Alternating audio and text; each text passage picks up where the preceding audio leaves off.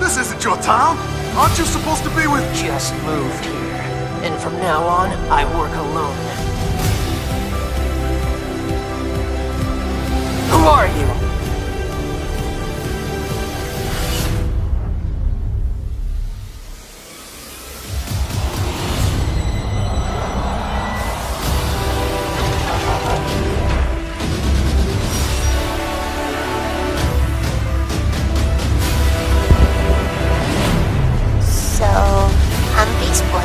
Boy. Who are you?